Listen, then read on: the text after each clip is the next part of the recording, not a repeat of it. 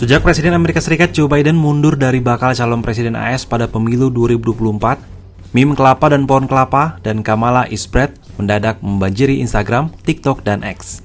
Meme-meme ini bentuk dukungan untuk Wakil Presiden AS Kamala Harris yang kemungkinan akan berhadapan dengan calon presiden dari Partai Republik Donald Trump November mendatang. Menyadari suara anak muda penting, tim kampanye Harris dan Trump berebut menarik perhatian mereka. Selain memakai meme pohon kelapa, tim Harris juga membuat akun X at Kamal HQ bertema anak nakal atau bread dengan warna hijau neon.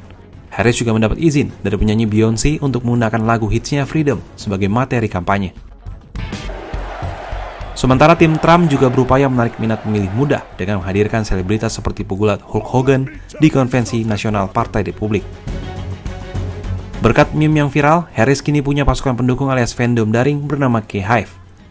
Meme dan video klip terkait Harris ternyata bisa membangkitkan antusiasme anak muda terhadap Harris.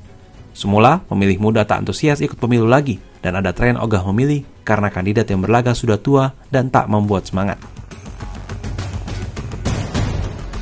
Kubu Trump pun kesulitan, apalagi mengingat faktor usia Trump 78 tahun, yang kini tercatat sebagai capres tertua dalam sejarah AS.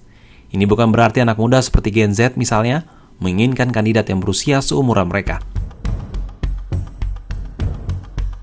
Ketenaran Harris di dunia maya memberi keunggulan baru bagi Demokrat di kalangan anak muda, termasuk para pembuat konten terkenal.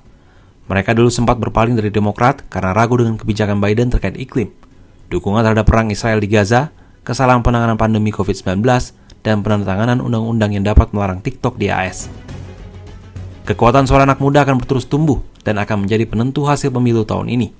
Mereka masih menanti capres yang mau berbicara dengan anak muda dan mendengarkan serta memberdayakan suara anak muda. Sampai sejauh ini ada dua pilihan, Trump dengan kesan kuat dan macho ala Hulk Hogan, atau mau pilih Harris, perempuan yang bandel, sering tertawa keras dan lepas, dan suka menarik.